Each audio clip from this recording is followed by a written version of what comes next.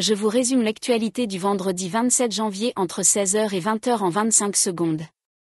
Féminicide en Guyane, la Cour de cassation infirme le renvoi de Sylvain Kéreneur devant les assises. 4000 policiers et gendarmes seront formés à la maltraitance animale. Le ministre de l'Intérieur Gérald Darmanin annonce ce vendredi la formation de 4000 référents sur la maltraitance animale dans tous les commissariats de police et brigades de gendarmerie de France, pour mieux comprendre le droit qui s'applique. Pour ne rien manquer de l'actualité quotidienne, abonnez-vous à ma chaîne.